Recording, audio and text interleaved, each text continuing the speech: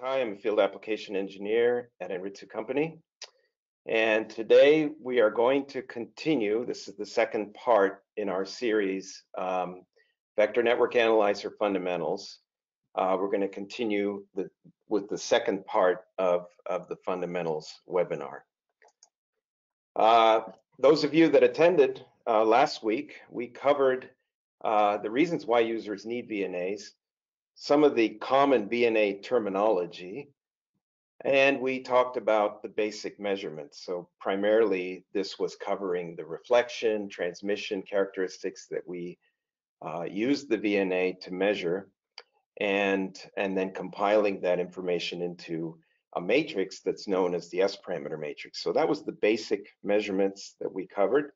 Then we reviewed the system architecture of the VNA and highlighted some of the key components and some of the trade-offs in those key components to address the needs of the instrument and to get the highest possible performance and flexibility. Um, so for those of you who uh, missed last week, it is a recorded event, so um, I do encourage you to to uh, to attend that. Um, but today we're going to move on and cover really the most important part of using the VNA, and that is how to calibrate it, because this goes beyond just instrument calibration that's done in a calibration lab.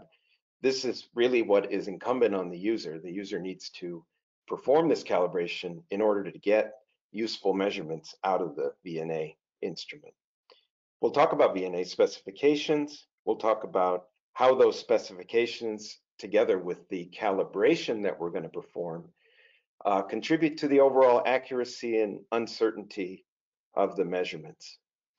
And then in the time remaining, we'll go over some of the advanced measurements beyond just the S parameters that we've been talking about last week and today.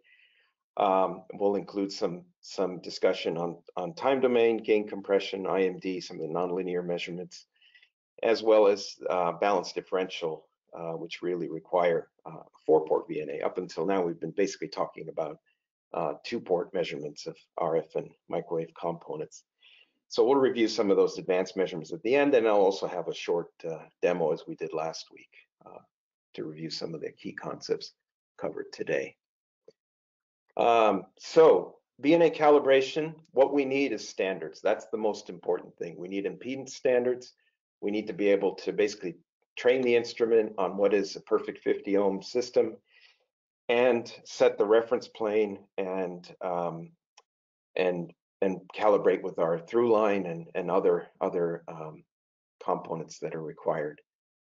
Uh, we also have mechanical cal kits that have the standards, but in, in, addition, we have an automatic calibrator as well that makes the job of calibration a lot easier because the standards are inside and they're switched.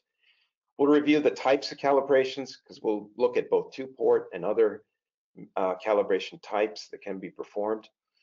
And then we'll review the specific algorithms that are uh, required to uh, compute the calibration error coefficients, which are then applied to uh, correct the measurement for these various things uh, that are non-ideal about our setup. And uh, no instrument is perfect 50 ohms, no instrument um, is, is going to have no insertion loss. So there's things that we're correcting for, and that is the whole purpose of the calibration is to make our system perfect so that we can make accurate measurements.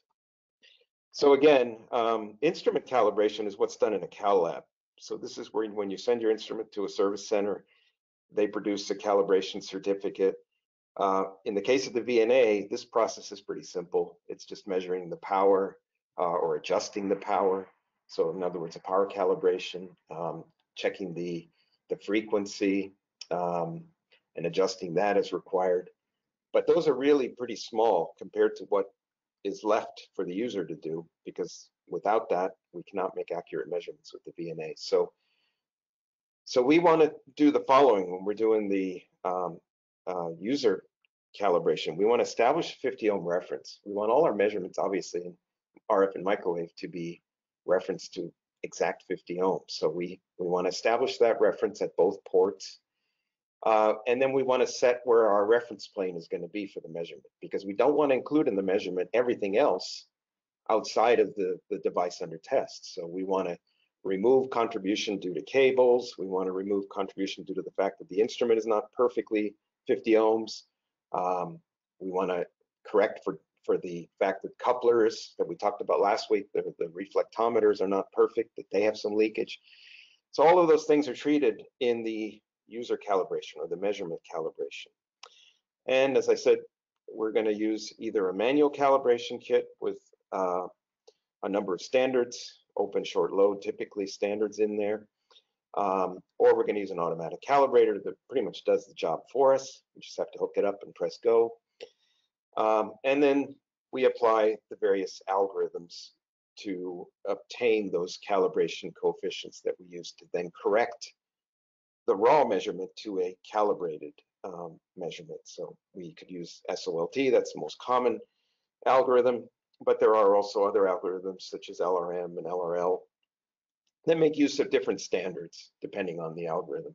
And of course, the AutoCal has its own complete uh, algorithm as well.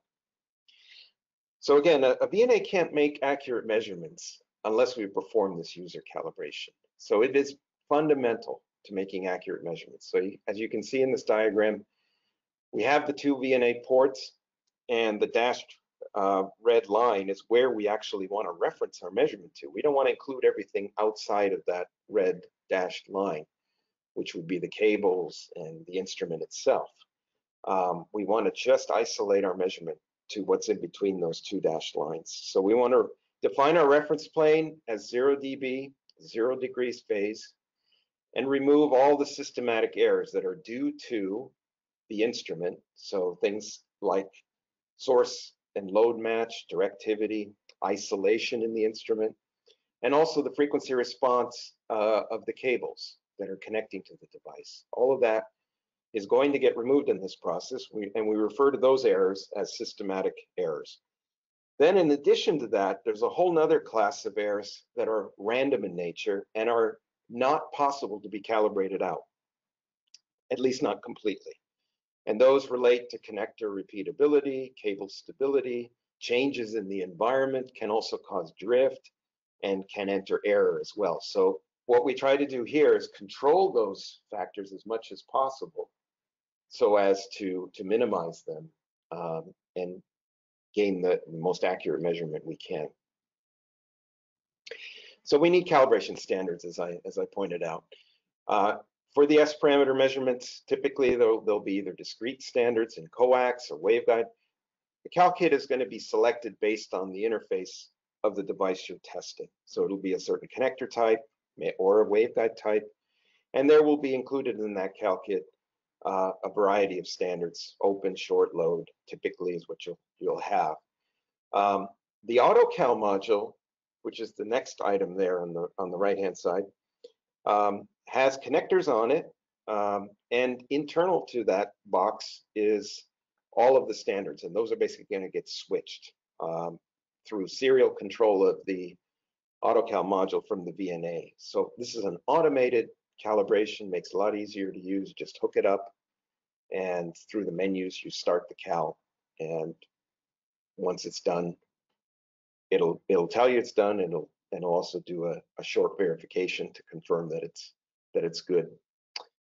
Um, we also have other cal kits depending on the configuration of your device under test. So we have a, a, a microstrip cal kit that we typically used for, for connectorless measurements. So a device like a substrate, cer uh, ceramic substrate with, with circuit on it, on a, on a substrate that would fit into a fixture. So those uh, substrates are used to first calibrate the fixture before you test your device um, in the case of, of, no coax connectors. And then wafer level measurements have their own uh, set of calibration substrates that are frequently used that also have the standards on them. And you just basically touch down on the standards during the calibration process and measure them. So those are all the calibration kits that could be used for standard S parameter transmission reflection measurements. But as I've been alluding to in, in these presentations, there's a lot more that today's modern VNAs can do.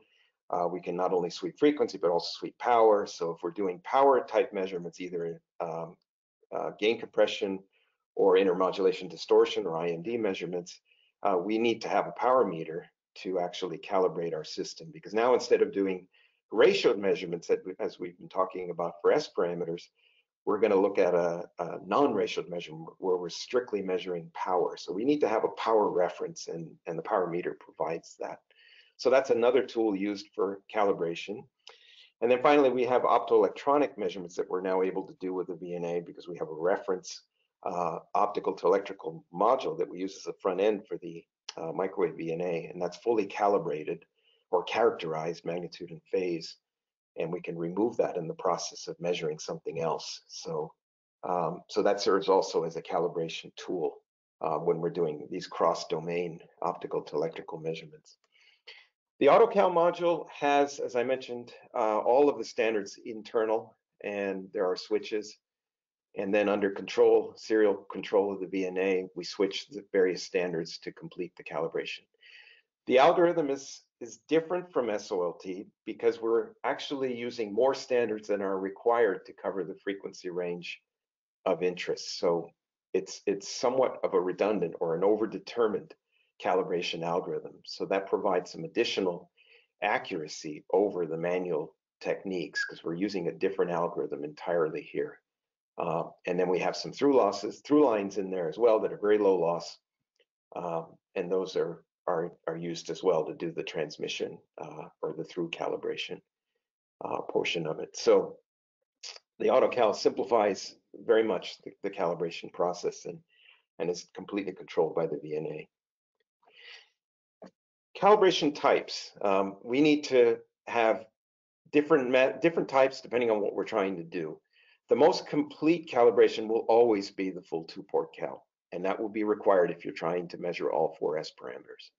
However, there are other simplified calibration types that can be used for just doing reflection, in other words, just a one-port measurement, or a measurement in one direction.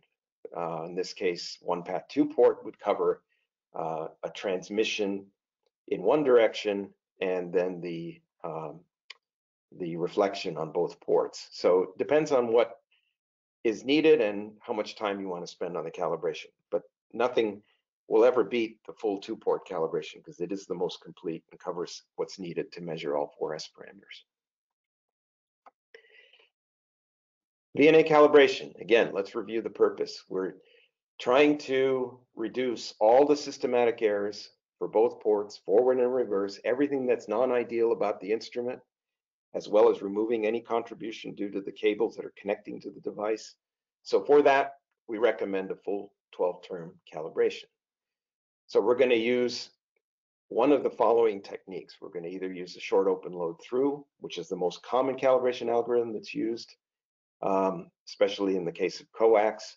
But there are other algorithms depending on um, what you're measuring and what is the configuration because in some cases it may not be convenient to have SOLT. You may only have uh, lines that are basically perfect 50 ohm lines of various lengths to cover a certain bandwidth of interest with a reflect standard, or maybe you add a match, or um, in some cases you don't have an open, so you're going to use an offset short technique. And this is in the case of waveguide calibration.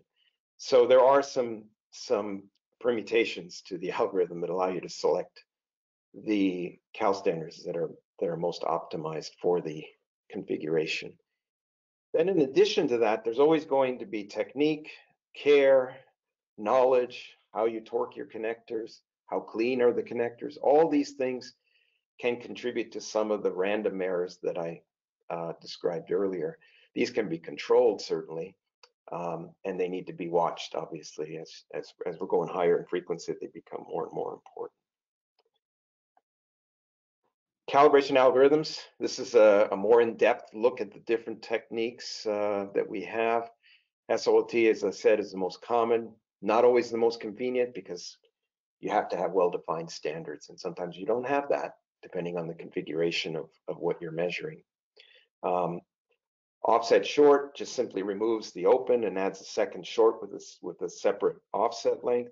Same math as SOLT. It is a little bit band limited uh, as a result, typically used in banded waveguide applications. We can actually add a third offset short and eliminate the need for a, uh, a good termination, which is difficult at high frequencies. Uh, so this is another technique that's based on the same math, but utilizes different standards. And then we also have cases where we don't have a, a well-defined through. So we, we use what's referred to as a, as a reciprocal through in those cases. So that might be in, in some of the examples where you're going from one connector type to another, uh, but you still need a through line to do that. But you may not know the exact electrical definition for it. In other words, you don't have the loss or the or the line uh, length information. LRL, TRL, this is a whole different algorithm, and it makes use of, of lines of different lengths, uh, highly accurate, obviously, transmission lines, 50 ohms. This is common in on-wafer uh, scenarios, um, and this is really one of the best calibrations for broadband, especially when we add the two reflect standards. So we have both the open and the and the uh, short. Um, but it does require the, the low definition. In some cases it calculates that. Um, but it is a common technique that's used in, in wafer, wafer level calibration. So how does calibration work? work? Once I make all of the measurements of the known standards, um, we compare that to what that value should be. And it will not be that value since there are some errors there. We're going to calculate that difference vector. So that error coefficient is that vector that basically um, is the difference between the raw measurement we're making with the VNA uncalibrated and what is supposed to be the actual uh, performance of that standard. So that difference is the error. We store that error coefficient, magnitude, and phase at every frequency and data point that we use in our calibration, and then it's applied when we make the measurement. So the VNA will continue to make a raw measurement, and then when the calibration is applied, we're correcting that raw measurement and making it accurate. So we compile what's known as the 12-term error correction model. So this is all of the error terms on both ports. If you do the full two-port calibration, you'll have 12 error terms that will describe all of the um, inaccuracy or the non-ideal nature of the of the instrument and the cables connected to the device.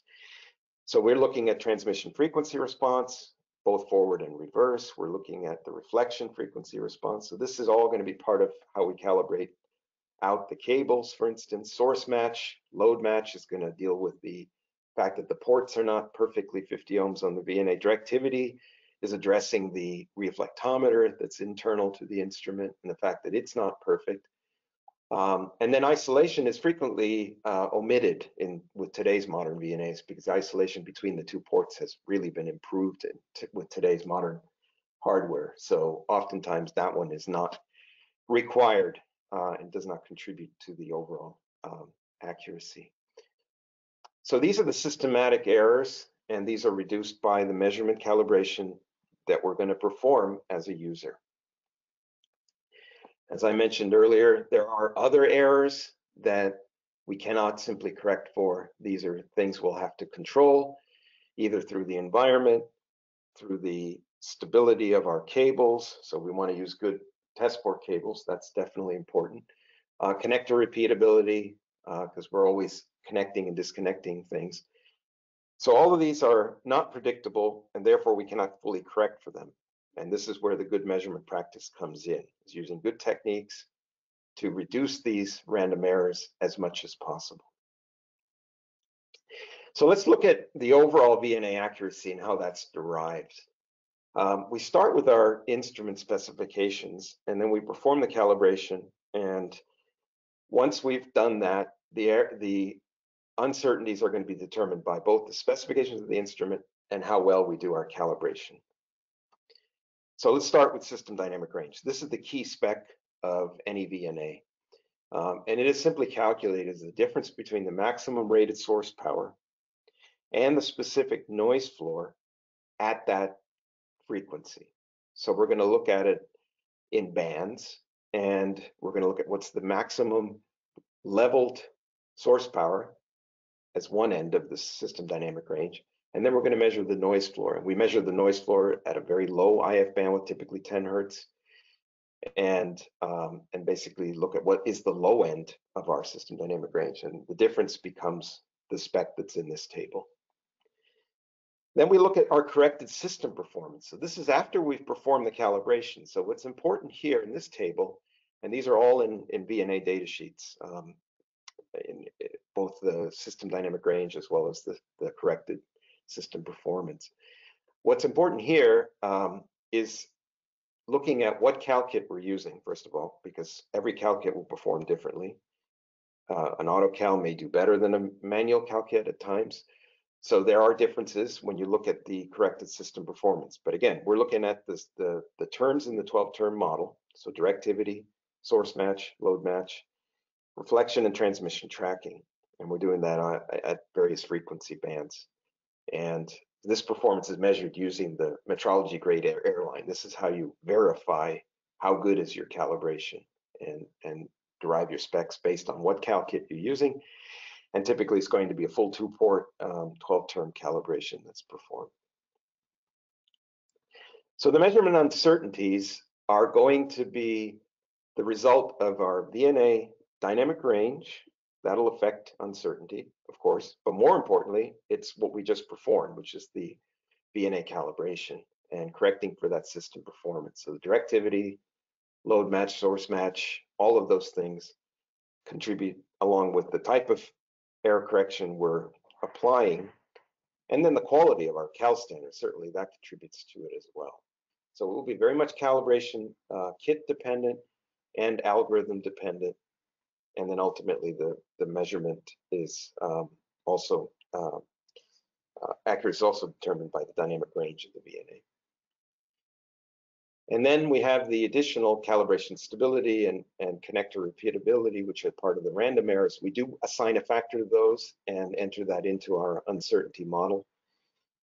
And then what is the DUT that we're measuring? Is it is it low loss? Is it higher loss? All of that will also be factored in to determine what the exact uncertainty is uh, of the measurement. So we have on the Anritsu website some uncertainty software tools that allow you to generate the curves, which I'm showing you now in the next slide.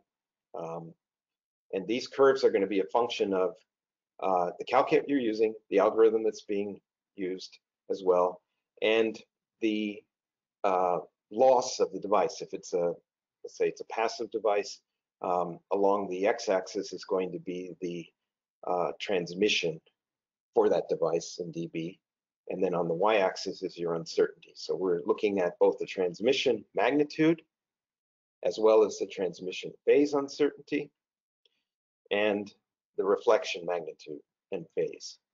And again, all of this is determined based on what it is we're trying to measure. So you can see that the, it's it's going to have a different level of uncertainty as we increase the loss of the device we're measuring, so we're getting closer to the noise floor um, and also reflection measurements start to uh, become more uncertain at higher higher reflection coefficients.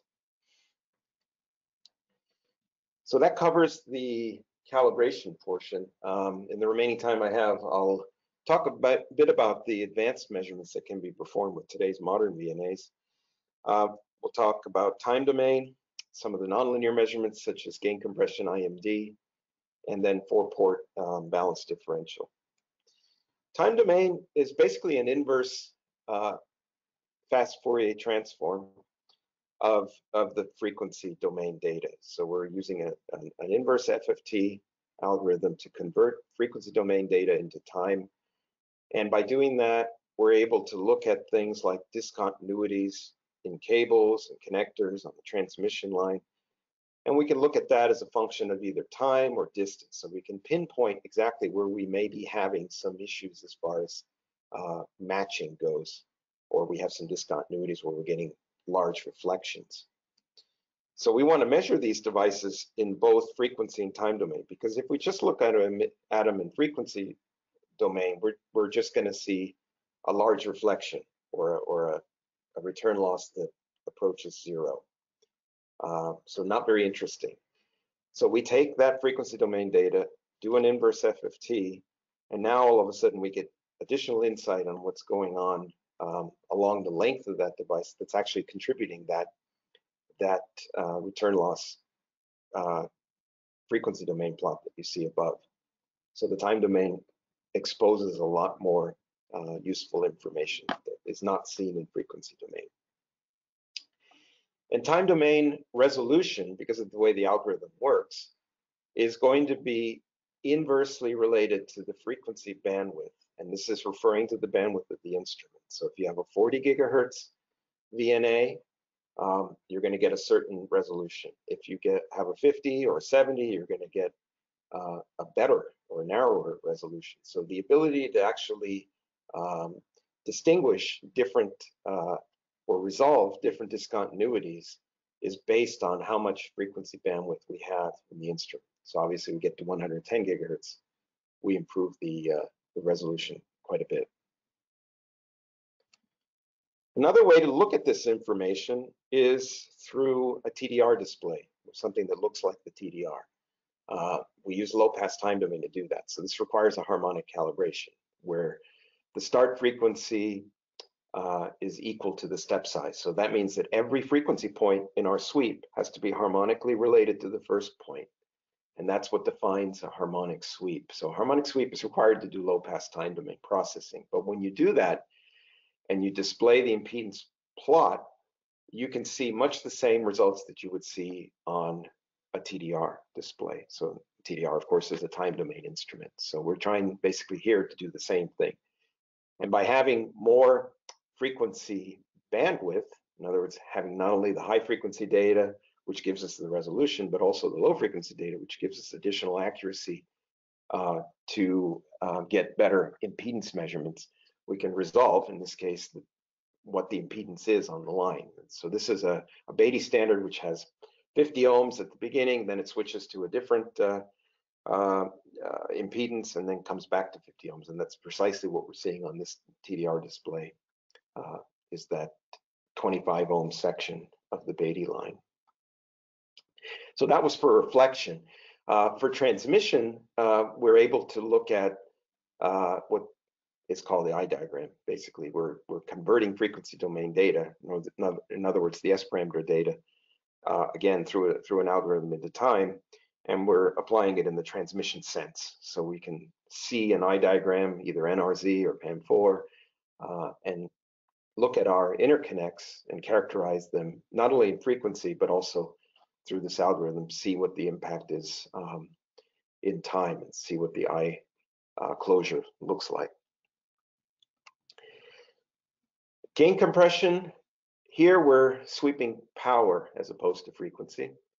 So the x-axis now becomes power, and the y-axis is going to be uh, an absolute power uh, measurement that we're making with our receivers. So we're going to sweep the power from some level to uh, some other level, and we're going to look at the linearity at the output side. And we can compare both the sweep on the input with the sweep on the output and where that output curve starts to compress by 1 dB, we're able to capture the gain compression point. So that's what the software in here does. It, it captures the, uh, gain compression point. And we can do the same with phase. So we can actually look at AM and PM measurements uh, as a function of input power. So these are nonlinear measurements. Another topic is IMD, intermodulation distortion measurements, where we have the ability to generate two tones.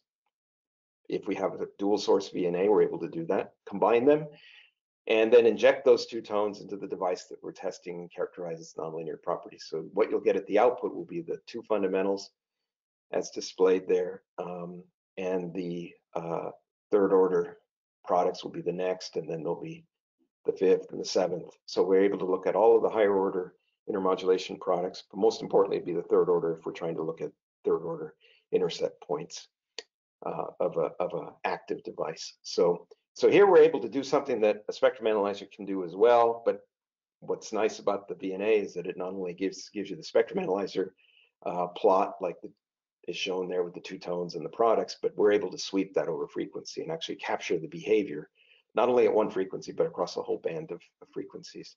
So this is an example of where uh, a spectrum analyzer can, or, or a VNA can actually do uh, a whole suite of different measurements from S parameters to nonlinear gain compression, IMD, uh, as well as harmonics, because the VNA can tune its receivers to whatever frequency is required to capture those products while the, the sources are applying the two-tone stimulus. So we're able to completely disconnect the receiver from the from the source and independently tune them. And then the balanced differential applications are the ones that really require four-port VNA, and they become quite popular now. Um, and it's mainly because of noise immunity. So differential signaling stands up better to, to the to the noise than single-ended does. So we see a lot of different uh, amplifier, filter designs, transmission lines, interconnects that are moving towards um, differential interfaces. And again, the, the key benefit here is that while we have our differential signaling, which means one side is is is zero degrees and the other side is 180 degrees, the noise gets canceled out as as a result. So we're able to get our signaling through while at the same time uh, canceling canceling the noise. So when we're using a four-port VNA to do this, we end up redefining the four-port VNA with two single-ended pairs and creating a, a, new port one that's purely differential that's composed of single-ended ports one and three, and a new port two that's composed of single-ended ports two and four. So this is how we're able to redefine a VNA that is normally single-ended with four ports to a differential system that is that is a two-port system with 180 degrees out of phase because that's what differential signaling is all about. so we define a whole nother set of S parameters. Of course, since we have four ports, instead of having four S parameters, we now have 16. So we have everything from S11 to S44. But we take that a step further by performing uh, what's known as superposition um, to redefine another set of S parameters for mixed mode, which will have everything from differential to common mode. And common mode is basically zero degrees phase difference. Differential is 180 degrees. And that's the, the, the mode that we want. And then we look at common mode rejection because there are going to be cases where we apply differential, but some common mode is produced on the output side. So we're trying to suppress that. So we look at those parameters as well in our overall matrix. Uh, so some of the common differential measurements would be insertion loss. So if I'm looking at a backplane or a, or a, a transmission line, um, I want to measure the differential loss from input to output. So the terminology changes slightly here. Before we had S21, now we define it as SD2D1, which means it's differential at the input side and differential at the output side. So we're looking at the loss here. Uh, could also be gain if it was an amplifier. Um, and then we have return loss that we're measuring at both the input side and the output side. So this is a lot like the S11 and S22 measurements we talked about earlier, but now in a differential sense. Um, and then we look at the balance or the common mode rejection between the, the differential and common modes. And so that will be a mixed mode um, S parameter that has differential input, but a, but a common mode on the port two side. And then there's crosstalk measurements, both near end and far end crosstalk measurements. So we're looking at different cross pairs here. Um, these are single-ended S parameters because we're simply measuring how much signal is coupled from one line to the other. And that's again something that we're trying to control when we do our design. Um, time domain, line impedance. So this is the impedance profiling I, I showed earlier.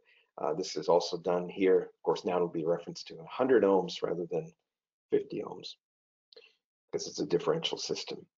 So all of these measurements can be performed with a four-port VNA. Now, how do we perform them? There's a couple of different ways. Most of the time, if, if something is passive or linearly active, uh, we don't require a second source to, to create a full differential drive. So instead, we apply the signal to each port one at a time. We measure all the responses at the other ports, and then we take those results and combine them mathematically using superposition to generate what is then the new matrix with the, with the differential common mode and mixed mode quantities in there. But it does assume that that device is linear and it could be pure passive or linear active. but it needs to be linear. And in that case, we can just use a single source and get all of our information for the differential S parameters. But in some cases, you have a nonlinear active device, and for those specific cases, which is a small percentage, um, we need to be able to have a, a true differential stimulus applied at, at differential port one and also measured at differential port two. So in this case, we do need a second source and we need to be able to differentially control the phase of that second source so that we can apply a true um, differential um, signal to, to both ports. So this is the technique that's used for nonlinear active devices. Fortunately, we can use the same CAL kits, but there is some additional algorithm that's performed to maintain that that 180 degree phase is, is relationship is met at the uh, reference planes of interest. So it does require a few additional sweeps to, to basically synchronize that. All right, and then finally a summary. Um, again, the VNA is an instrument that provides extremely accurate characterization of RF and microwave devices, either at subsystem level or down at the, at the component level. For the S parameter case, we're measuring ratioed uh, quantities. So everything is being referenced to the incident signal and we're taking ratios internal. We have four receivers in the VNA to do that. We provide magnitude and phase information. So it's true vector, vector measurement. And we have wide dynamic range of very linear receivers internal to the VNA to do that. We work with a lot of different environments or configurations ranging from coax to uh, waveguide on wafer, optoelectronic. So there are different environments we have to adapt to both with our measurement as well as the calibration techniques that we choose um, to calibrate our VNA. And that's really the subject of today was what are the calibration methods and how do we apply them and why are they so important? Um, and then there's some other post-processing techniques where we can do things like impedance transformation and um, embedding, de-embedding to remove, further remove items from our uh, measurement uh, of interest so we can adjust the measurement plane to, to optimize for the best accuracy of what we're trying to measure. And we have some additional information on our website that I invite you to look at, um, application notes as well as measurement guides. And there's a whole book known as uh, VNA calibration that's also available that goes through a lot of the concepts uh, we talked about today. Uh, I'm going to remind you again of the VNA portfolio that Anritsu has, everything from economy, basic S parameter VNAs, uh, one port, two port. Um, some of these are field uh, portable, uh, part of our handheld family. We have mid-range performance VNAs that go up to four ports and actually cover some waveguide band as well at E-band. And then we have the VectorStar, which is our high performance VNA, uh, which we'll have additional sessions on um, in, in our VNA uh, seminar series. Um, and uh, we'll talk about more, uh, more detailed applications in those. Um, I'm going to refer you back to the, the demo that we did last week, uh, where we went through the basic um, displays of the VNA. Uh, today, I'm just going to show you uh, some of the calibration concepts uh, as well.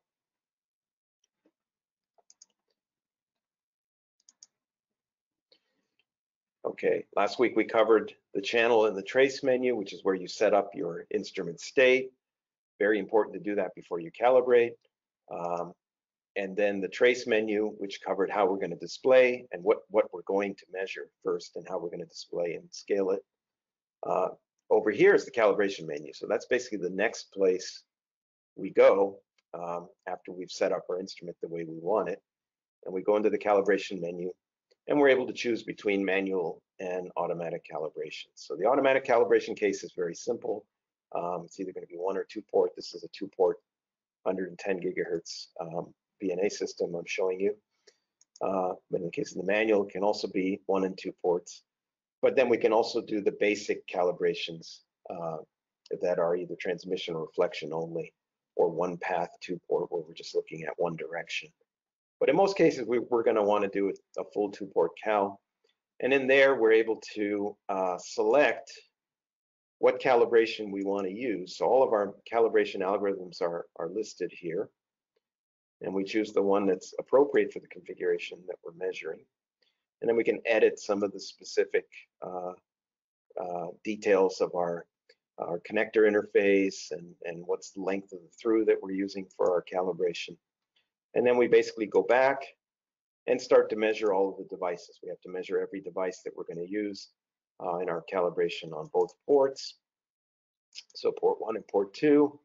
Uh, this is a special broadband example here. So we're actually using a, a hybrid of an SOLT and a, and a, and a triple offset short to get all the uh, necessary standards measured to cover a broadband frequency range up to 110 gigahertz. We also have the through here. So once we've measured all of the standards, at that point, uh, we'll be done and that tile will turn on and then the VNA will contribute the error correction coefficients and start to apply those on the measurements that we're making. So then we'll get the green light down here uh, that shows that we are um, corrected and, and getting accurate measurements.